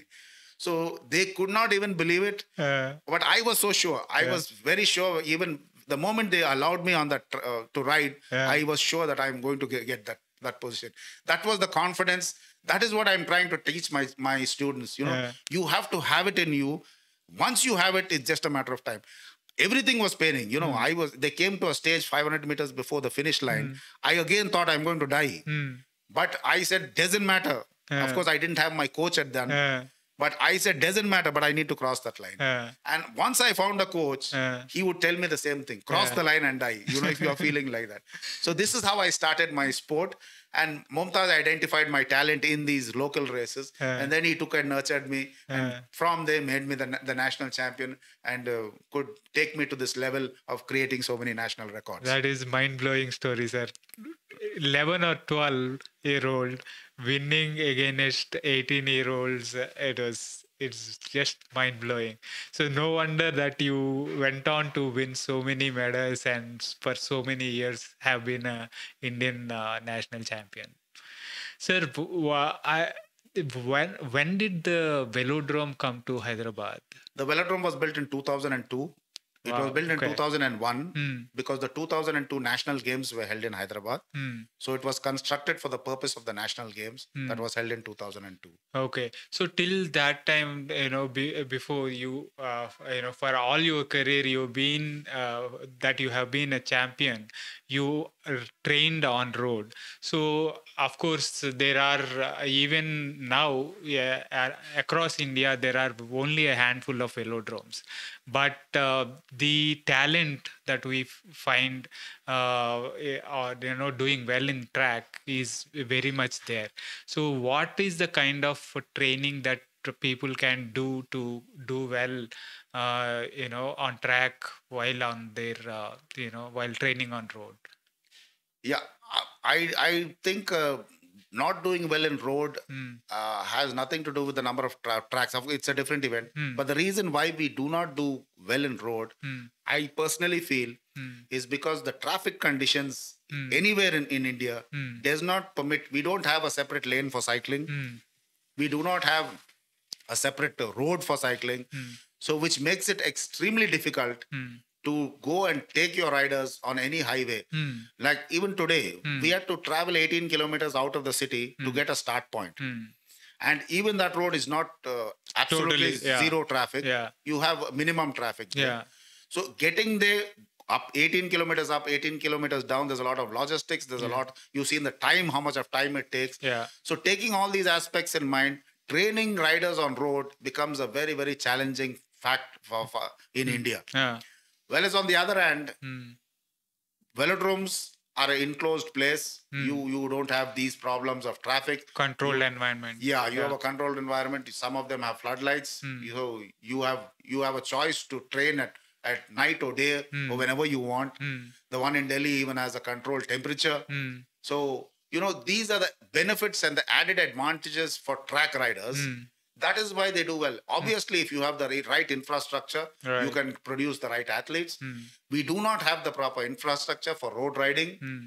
That is why taking a can we you can I can uh, train a six year old on, on the track, Hmm. but I can't train a six year old every day on the road. Yeah. It's very challenging. Yeah. Today was the first day that some of these all these riders between the age group of 6 to 12 Hmm. today was the first day they got a feel of what a riding on a highway is Yeah. so you see how challenging it is It this is. is not possible to do every day Yeah. we needed a we needed a whole kind of a team they were around i think uh, uh, 30 students we had Hmm. i think th- thir- more than 30 parents Yeah. uh, supporting us there. Hmm. Now, so, much of support staff hmm. to train on road is really practically impossible, Yeah. and that is one of the reasons we hmm. do not do well in road. That is, hmm. this is my personal Yeah. thought, though. But. I think it's it's very uh, practical if you sit to think. Hmm. You cannot actually use a road as and when you like. Right. You cannot use it at any time with, with total traffic free. Closing a road even for any event is become virtually impossible in India because you cannot close a road Uh, because putting others into inconvenience. Right. So these are the difficult challenges that we face in road. Hmm. On the other hand, in track, yes, if you see the, the people who don't have tracks, you have the choice of moving from one city to the other city to train. Hmm. That is why all the centers, the Khelo India centers hmm. that uh, the camps are organized in, all these cities have tracks. So you have so many talented youngsters in the age group of 12 to 14, 12 to 15, training in these Khelo India camps. And that is why I think uh, we, we can produce better track riders than road riders. Yeah. So how many uh, velodromes do we have, and how many such camps are there for people to approach and uh, you know get See? Khelo India, I'll, I'll tell you uh, how, how Khelo India goes about it. I'm, Ah. I'm also one of the talent TIDC members of the Khelo India project. Yeah. It's a talent identification development committee. Hmm. So here, the National Federation, the Cycling Federation of India, Hmm. they all the time keep looking out for talent. Right. So there is a specified way of identifying talent, Hmm. which is it's called a standing broad jump, in where you uh, make a, a athlete or a rider stand, and in a from a stationary position, how far can he jump? Hmm. So this is one of this indicates the explosive power he has. This indicates the fast twitch muscles in his in his body, in his legs. Hmm. So this is one. They have a standard uh, format for this. For boys, it is 7.5 uh, feet, which is 7 feet 6 inches. For every inch beyond 7 feet 6 inches, the, the rider or the athlete gets one point. They have a point system. In a similar manner, you have a standing vertical high jump. Hmm. So if for boys it is 24 inches off the ground, hmm. for every inch beyond 24 inches, they get one point. In a similar manner, for boys again, it is 1,600 meters of running, hmm. which the cutoff time is uh, six minutes. Hmm. Anything below six minutes, they get a points. This is the kind of point system. These are the three uh, basic tests that is done for a Khelo India selection. If an athlete qualifies in these three tests, he is then put through a more cycling specific test, which is done on a watt bike. Okay. A watt bike is a, a stationary cycle Right. equipped with all the gadgets and computers and uh, to indicate to you how much of uh, energy, not how much of power you're putting on, on your pedal. Right. If the amount of pressure that you apply on the pedal is converted into power Hmm. to give you a reading. So the amount of effort that is put on the pedal is, is converted into power and that gives you a power number. Hmm. It also, you are hooked up to a heart, heart rate uh, support system. You wear a heart rate belt or a heart rate uh, gadget on your hand and that gives you your heart rate reading.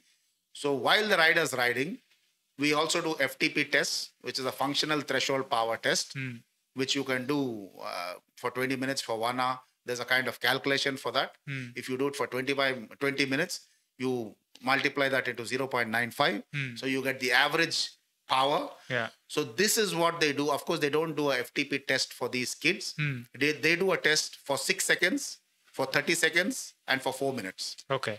by this they they can tell one can tell or a coach can tell which area this young athlete can mm-hmm. be further developed in. Right. which area he has the talent?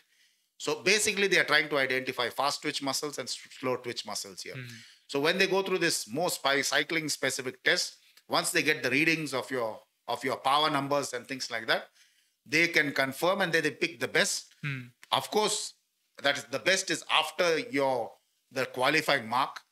If you don't qualify you don't you don't get into you don't even go to that test. Right. so all those who qualify, the best out of the qualified are then again taken. And we have five centers now. The Khelo India has five centers. One center is in Delhi, one center is in Kerala, one center is in Karnataka, another center is in Manipur, and the last center is in uh, Guwahati. Okay. So we have these five centers. Hmm. All five centers have velodromes. Hmm. The the Cycling Federation of India, in in consultation with the Sports Authority of India, Hmm. provide all the equipment Hmm. and all that is necessary. They get a high calculated um, diet. Hmm. The nutrition is good. Hmm. All these centers have qualified coaches. Hmm. They have not only NIS coaches, they also have UCI level two coaches. Hmm. The main center in Delhi uh, is is uh, also run in in the velodrome in the indoor velodrome Hmm. in which uh, you have qualified coaches there it's there also Hmm. so these centers are equipped with not only the equipment they also equipped with qualified coaches and this is one good example the Khelo India selection process is one good example Hmm. I always say this the the boy who won the medal at the at the world championship Esau Hmm. he was identified in the similar manner Hmm. there was an identification kind of talent hunt Right. that was done in the Andaman and Nicobar Islands. Hmm. And uh, members of the CFI went to the Andaman and Nicobar Islands, Hmm. and he was one of them identified in these in these very same tests that I'm talking about: standing broad jump, standing high jump. Hmm. So you see here, an athlete who never sat on a cycle Hmm. was selected to become a good cyclist. Yeah. So here you see you see how effective this is. Right. The selection for a world champion Yeah. was done not on a cycle; it was done uh, in these basic tests. Yes. So this proves Yeah. that this is a tested and proven fact of the method Hmm. that works. Hmm. And Esau was identified in this very same process, Right. was called in the camp to Delhi, was then develop, his ta- talent was developed there, Hmm. and he went on to become a world champion. Right. So these uh, the identified talent can uh, will be uh, staying eh, at these camps and will be undergoing the training, sir. Yes. So these are different centers. You Hmm. have a choice to to opt for which center you want, Hmm. Depending on the vacancy in these centers. Hmm. They all have a maximum upper limit. Okay. So you would be put in those centers. Mm. The Delhi center is always the main center. Hmm. These other four centers are called feeding units, Hmm. where you produce a good athlete and then you send him to Delhi Mm. for further development Hmm. and better kind of facilities Right. that are there in Delhi. Hmm. So in these camps, Mm. some have a maximum limit of 40, 50, 60, Mm. depending on the uh, infrastructure and the facilities available there. Hmm. And every two or three months, they have a weeding out process Hmm. in which the athletes who are not performing well, Hmm. the athletes in the 50, let's say in all 50 riders, Hmm. The last two or three athletes Hmm. that are not performing, the last of the table, Hmm. the last of the list, Hmm. those who are not performing well, they would be removed from the camp Hmm. and fresh talent would be inducted into this camp. Okay. So there is a constant weeding out process Hmm. and there's a constant induction of new talent. Hmm. So this keeps the athlete fit, keeps him motivated, keeps him wanting to be in the camp. If he wants to be in the camp, he has to perform. Hmm. So it is all performance motivational kind of stuff. Yeah. That only if you perform, you will be there. Hmm. The benefits are tremendous Yeah. because not only the nutrition, not only the training, Hmm. the scientific training, Hmm. you have the best equipment, Hmm. and besides that, you get a 10,000 rupees scholarship every month Hmm. as a kind of pocket money. Right. So this is a great incentive. Yeah. No, this is I I think you know as you rightly said the kind of talent hunt that is happening there and uh, the kind of uh, uh, facilities that uh, through Khelo India uh, they are putting through I think is uh, reaping the uh, seeing the benefit uh, results out uh, on the track and uh, excellent uh, show at the at least at the junior level right now we are seeing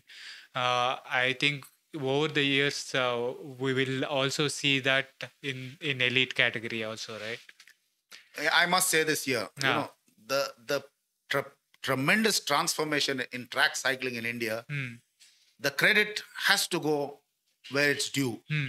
And the due credit has to go to the Cycling Federation of India. They- undoubtedly They are headed, the Cycling Federation of India today is headed Hmm. by a great group of people. I always say this. I will also give you examples of why I say this. yes They are doing a tremendous job under the leadership of uh, the president, Hmm. Dinsha Saab, under the leadership of the chairman, Onkarji, and the general secretary, Maninder Pal Singh. Hmm. This team is an excellent team. You know, in the last nationals, Hmm. that was just recently, one week ago, I was part of the nationals. Hmm. Maninder Singh, who is the General Secretary of the Cycling Federation of India, came to me and said, You know, I identified some talent. I want you to check them out.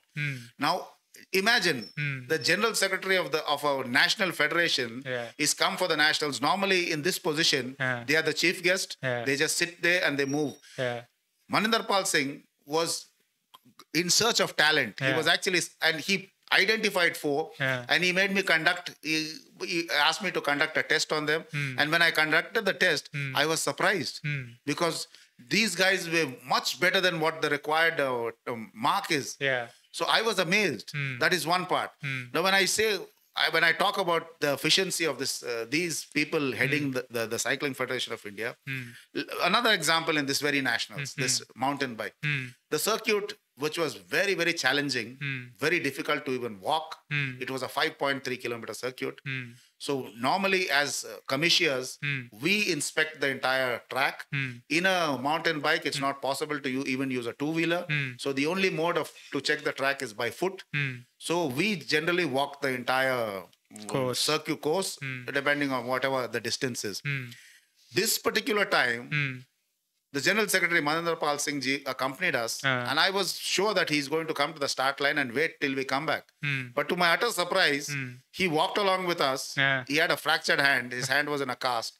He came inspecting the entire 5.3 kilometers course with us Yeah. to get a first-hand information of how what the course is about, about the safety aspects. Yeah. Now, th- I always say this: this is what leading from the front means. Absolutely. Another thing, Hmm. Onkar Saab, Onkar ji Hmm. Is the general uh, secretary of the Asian Cycling Confederation. Hmm. Now you should you should understand there are 44 playing countries in Asia Hmm. uh, under the ACC for cycling. Now in these 44 countries, there are very very powerful countries in cycling. Hmm. You know you have South Korea, you have China, you have Japan, you have uh, Malaysia. Yeah. You have so many big names in cycling. Right. And every country wants their person to be elected to represent uh, them at the Asian Cycling Confederation. Hmm. And in all these 44 countries, in all these 44 uh, candidates that were fielded, Hmm. Onkar Saab wins unanimously to, for the post of General Secretary. That itself shows the efficiency of the man. That itself shows that he's not only been developing cycling in India, but he's gone beyond the borders of India and developing cycling in Asia also. Even the courses that we have, uh, the, the national course, courses for coaches hmm. that we have in India, he extend these he extends these facilities beyond the borders of India, hmm. and other countries also take part in these coaching classes. The last time we were teaching in these classes, we were requested to speak only in English because of the international participation. Right. We had number of countries participating in this uh, these programs. So this is how. I'm proud to, to be an Indian and to see Indians at this level. Even the president of the Cycling Federation of India, Dinshaji, is the vice president of the ACC. So we have two Indians in two very good posts in these 44 uh, countries of Asian Cycling Confederation. So And- uh, hats off to them and the uh, hats off to the great job they're yeah doing. i think that the kind of leadership that is there now uh, is uh, resulting in these uh, you know a great execution of uh, talent hunt and development of talent and also the kind of improvements we see at uh, the uh, events the nationals uh, be it mtb or track or uh, the road nationals i think uh, has been tremendous uh, progress over the years. Like the the example you took is the you know a, a person of that caliber walking the course and taking first-hand information shows the kind of commitment they have for uh, you know the execution of these uh, events so kudos to the thing One small example I'll give you about the tremendous change. I call it. Uh, they've they've taken cycling into a new dimension. I always say this. When I started cycling, the National Federation at that time had six cycles. These cycles were fairly good good to participate in international competition, and the federation had six cycles. Today, the federation has 600 cycles.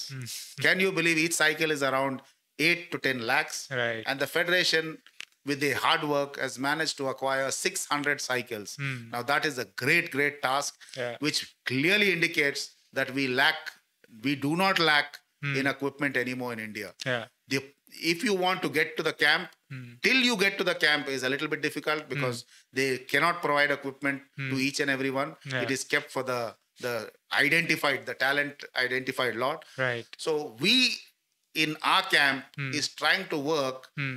to nurture these talent hmm. and to get them into the camp. Once they get into the camp, then the national federation will take care of all their needs. Right. So that is the aim, and that is why we are working on these children. Not right now to make them world champions, but to just become a feeding unit to the put camps. them to identify the right talent, put them into the camp, nurture them till that point. From hmm. there, they will go into into uh, hands that have all that is required hmm. to make them Olympic champions. Right. So when I say I'm going to make Olympic champions, hmm. it's not that I'm going to take these kids work the, work on them till the Olympics. Right. I am going to make them prepare them to put them in a process that they will go through ultimately through the cycling federation of india Right. and they will be able to that is why i'm so sure because thi- this is a kind of teamwork Yeah. where we become feeding units Yeah. they have the i don't have the infrastructures Yeah.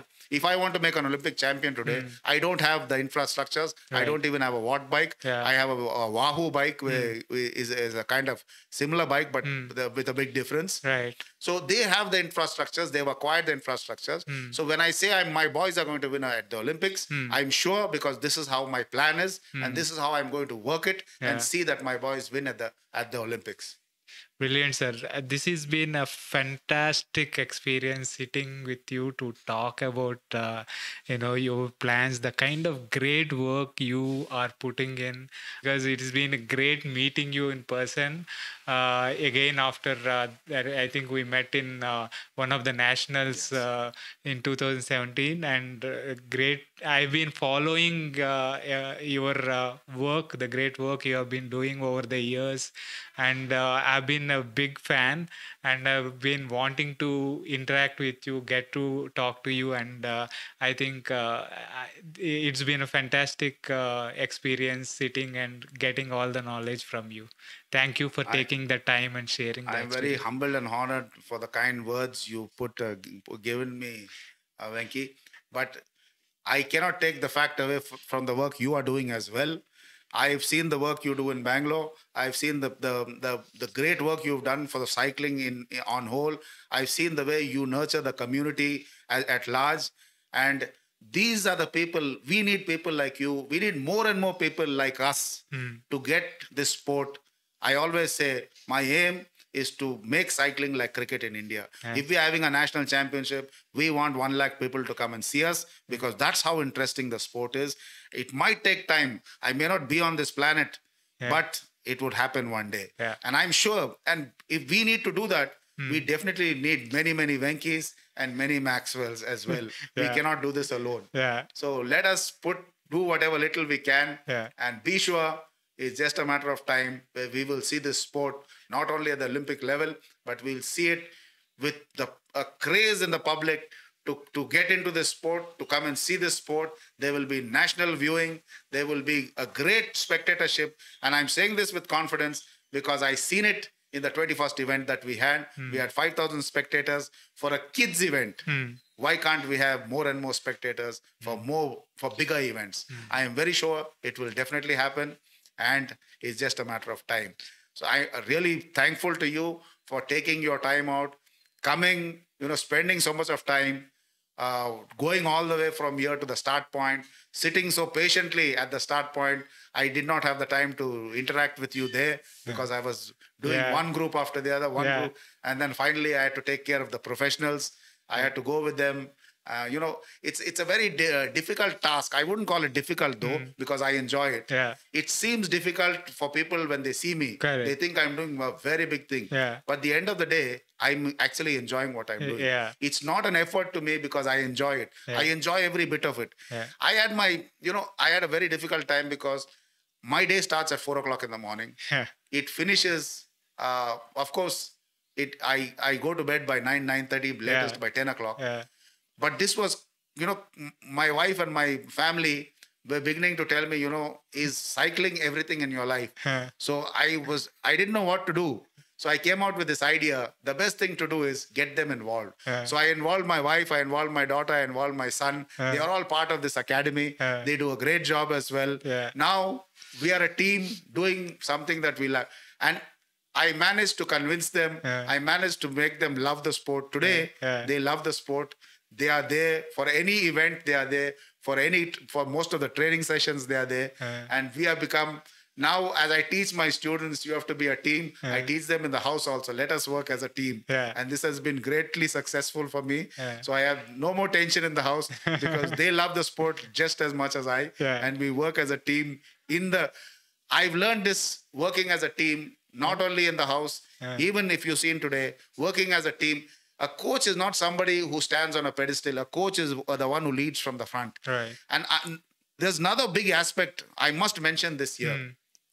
When we first started training children, Hmm. I noticed one, uh, what should I say, one very, very common habit in most of the children. Hmm. They would eat a chocolate and throw the paper wherever they're standing. And nobody thought anything about it. Like it was not even considered to be wrong. Hmm.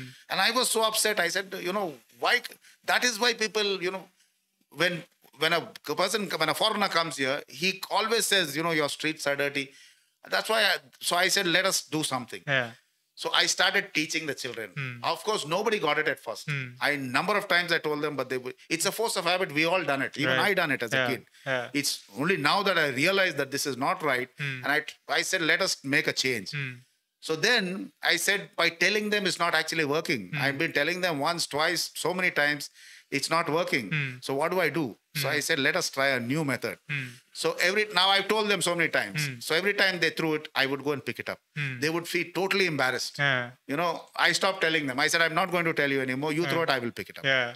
So I done it once or twice. Yeah. That made such a tremendous change. Like, you know, even now they are still in the habit. They throw it and then pick it up again. so I seen this uh, as a great change. Yeah. I always tell my students, we have to make a difference. The cycling community in India has to make a difference, not only in cycling, but to the community, to the nation at, at large. Yeah. We not only contribute a non-polluting vehicle, Hmm. we not only give a healthy uh, lifestyle, Hmm. but we will also contribute to the environment. To so we what we do is, if you notice today, Hmm. we carry our own garbage bags. We fill them. We don't throw that bag there. We put it back in the car. Hmm. We bring it home. We put it in the garbage bin because we have vehicles coming and picking up the garbage. Hmm. And this I started. Now I don't have to tell anyone. Right. If you notice today, Yeah. maybe once or twice I still do it because Yeah. there are st- students who keep coming. Yeah. new students always. Yeah. But this has made a tremendous change. Hmm. I've seen the parents, excuse, I've seen the parents doing it. Now I don't have to tell it. Now Right. the parents also start. Yeah. And I've told my, even a banana skin, although a banana skin is good for the environment, it doesn't harm like plastic. Yeah. But to get an habit, because if they throw a banana skin, they can they will throw something else. Yeah. It's a it's the habit that has to stop. Hmm. So I told them whatever it is, if it's a banana skin, even though because a child will tell you today, Yeah. this is good for the plant, I can throw it. Yeah. So, but it's not the what is good for it's to break the habit. Yeah. So I tell them put it in your t-shirt pouch at the back. Yeah. Come back or give it to me if I'm on the bike. I will take it and put it. Yeah. So people have started noticing this. Hmm. Parents have given me a lot of applause for this Yeah. because I always say we always say what our what is our country doing? There's so much garbage. It's hmm. not the country. Hmm. What are we doing for our country? Right. We have to make. We are the people. We make the change. So this is what is being appreciated, Yeah. and I think this we have. There's no big deal in doing the right thing. Right. So we are just trying to teach a child. Hmm. We were all children once upon a time. We all done this, Yeah. but we are just trying to teach our children to do the right thing hmm. and be. Sometimes we have to become children Yeah. to teach children. Yeah. So there's nothing wrong in becoming a child now and then Yeah. and behaving like a child and playing with a child. Yeah. I play games with them. Yeah. I act like a child. Yeah. And that's what brings the best out of a child. And that is what we are here for to get the best out of every child. Yeah, I have seen that firsthand uh, today, sir. And uh, you leading by example is uh, something that really, really struck me. And uh, I I take this as a learning uh, going from here. And uh, thanks again for uh, all the uh, great work you do, and uh, uh, and uh, again taking the the time out for the Working Athlete podcast and sharing your uh, experience here. You don't have to thank me. Anything connected to cycling is my pleasure. I actually do it with pleasure. Even this podcast, Yeah. if it's going to help even 10 people, Yeah. because we are just trying to pro- uh, project the facts of the game. Yeah. We are just trying to project the facts and what your child can achieve by coming into this sport. Not only being becoming fit, there are so many other benefits. And if we do it the right way, and if we focus in these small areas, we can make a difference in every child's life. And that is what we are here for. And if 10 children can listen to me and if one of those 10 stop throwing garbage on the road, I think that's an achievement. Mm-hmm. And this is how we start. And I really thank you for doing all that you're doing for the sport, for the community, coming all the way, taking so much of time out, spending so much of time with us. I also thank you so much and I appreciate all that you're doing. Thank you, Venky. Thank you, sir. That was my chat with Dr. Maxwell Trevor. I hope it was as enjoyable for you as it was for me. If you're enjoying this podcast, please make sure you subscribe to the channel on YouTube. The channel name is Bikey Venky, B I K E Y V E N K Y. It really helps. Also, make sure you subscribe to the podcast, the Working Athlete Podcast, on whatever podcasting app you use. Be it Spotify, Apple Podcast, Google Podcast, Amazon Music, or any other platform. Thank you. Until next time, see you.